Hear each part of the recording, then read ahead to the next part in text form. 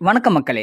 தமிழகத்துடைய அனைத்து மக்களுக்கும் ரொம்ப முக்கியமான விஷயம் என்னவென்று பார்த்தால் தமிழகத்தில் அடுத்த மூணு மணி நேரத்தில் பார்த்தீங்கன்னா இருபத்தி நான்கு மாவட்டங்களில் கனமழை பெய்ய வாய்ப்பு இருக்குன்னு சொல்லிட்டு பார்த்தீங்கன்னா மண்டல வானிலை ஆய்வு மையம் தகவல் தெரிவிச்சிருக்காங்க. எந்தெந்த மாவட்டம்லாம் பார்த்தீங்கன்னா இப்போ மழை பெய்ய போகுது எதனால் இந்த டைமில் மழை பெய்யுது அப்படின்னு தெரிஞ்சுக்கணும்னு நினச்சிங்கன்னா என்ன விஷயம்னு பார்த்தீங்கன்னா வளிமண்டல மேலடுக்கு சுழற்சியில் ஏற்பட்ட காற்று அழுத்த தாழ்வு மையத்தினாலையும் அப்புறம் வெப்பச்சலனத்தின் காரணமாக பார்த்தீங்கன்னா தமிழகத்தில் இப்போ மழை பெஞ்சிக்கிட்டு இருக்கு.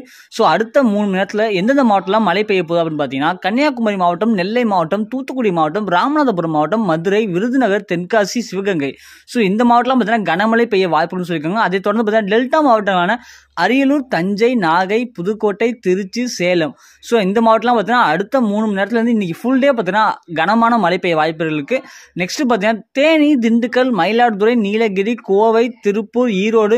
ஸோ இப்படி இருபத்தி நான்கு மாவட்டங்களில் பார்த்தீங்கன்னா கனமழை பெய்ய வாய்ப்புன்னு சொல்லியிருக்காங்க. வெறும் கனமழை மட்டும் அல்லாமல் காற்றுடன் கூடிய இடி மின்னலுடன் மழை பெய்யும்னு சொல்லியிருக்காங்க. இந்த மழையோட பார்த்தீங்கன்னா மழை பெய்யுற டைமிங்கில் பலத்த இடி அப்புறம் மின்னல் அடிக்க வாய்ப்பு இருக்குன்னு சொல்லியிருக்காங்க. நம்ம தினத்தகவல்கள் சேனல் மூலமா நம்ம சொல்லக்கூடிய விஷயம் என்ன பார்த்தீங்கன்னா நேற்று முன்தினம் பெரம்பலூர் மாவட்டத்தில் இதேமாரி மழை பெய்யும் டைமில் இடி இடிச்சதுல இரண்டு பேர் பார்த்தீங்கன்னா சம்பவ இடத்துல பலியாயிருக்காங்க. ஸோ முடிஞ்ச வரைக்கும் ரொம்ப சேஃபாக இருங்க வீட்டிலே இருங்க. மழை பெய்ய டைமில் யாரும் வெளியில் போக தேவையில்லை. ஏன்னா இடியானது பார்த்தீங்கன்னா ரொம்பவும் கடுமையாக இருக்கிறதுனால உங்களுக்கு உயிரிழப்பு ஏற்பட அதிகமான வாய்ப்புகள் இருக்குது ஸோ முடிஞ்ச வரைக்கும் ரொம்ப சேஃபாக இருங்க. இதுமாதிரி தகவலாக நீங்கள் ஒன்று கூட தெரிஞ்சுக்கணும் அப்படின்னு நினச்சினா மறக்காமல் நம்ம தின தகவல்கள் அப்படிங்கிற சேனலை மறக்காமல் சப்ஸ்கிரைப் பண்ணி ஃபாலோ பண்ணுங்கள்